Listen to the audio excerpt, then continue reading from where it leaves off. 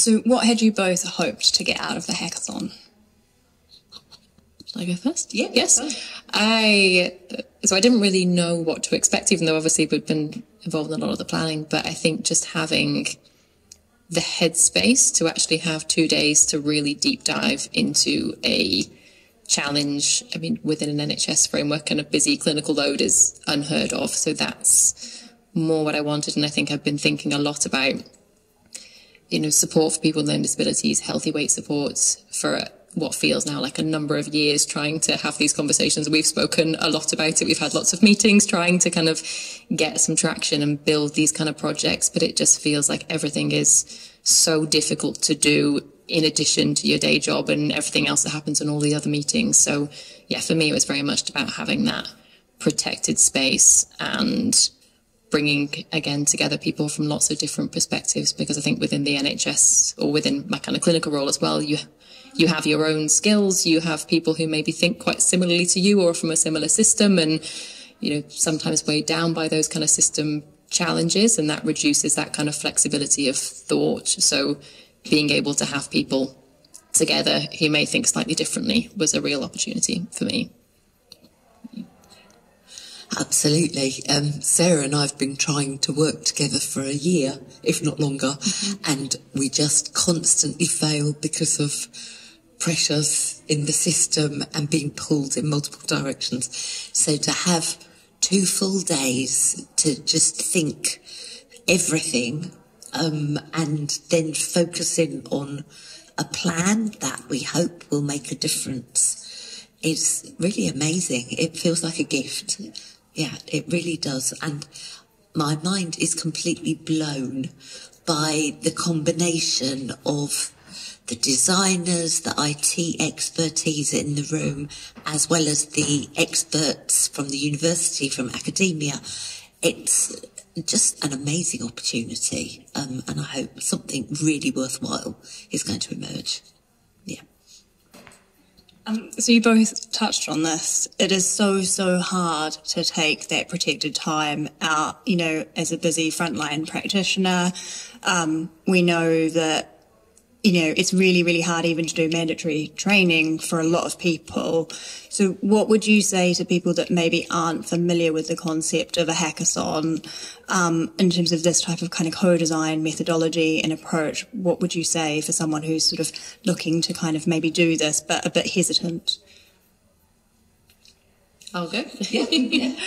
I, um, so I suppose from my perspective, actually, I've, again, just found this like an absolute blessing to come to. And I think for me, it's had me reflecting a lot on just working the way we do at the moment and actually how much time would be saved by doing mm. deep dives into things by having that protected time to think about something and do it properly and do it well and with the headspace and the creativity and the skills of other people because I think there's so much you know change that happens when there's so much other stuff going on and you don't really have the proper time to think about the changes that maybe then causes problems further down the line or you don't get the, the best solutions. Um, so I think it's made me think about how helpful this would be for some of the changes we do do.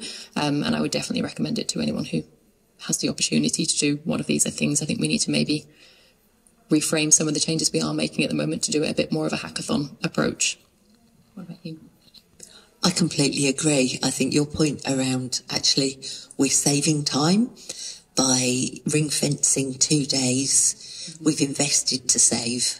It's it's a no-brainer, really. Um, and to have this opportunity of meeting with designers, you know, that has never happened in my 30 odd year career. I have never had the opportunity to sit with people who understand how to design something, how it will all fit together, um, to create a wonderful tool for people with learning disabilities. Such an opportunity. Yeah, just do it. Yeah.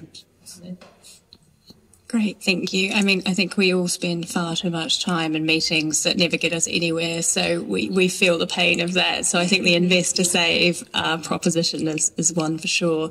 Um, finally, what do you think your kind of three key takeaways? I know we've not finished the two days yet. Um, hopefully, we'll get kind of a winning team out of it. Might be one of your two teams. Um, but yeah, what do you think the kind of three key takeaways for you so far? Just to clarify, is this takeaways? Um, I'm sorry, I'm trying to formulate my things. Um, I, I, think my takeaways, I suppose, would be in terms of what I've learned about what is helpful about doing this event, protected time.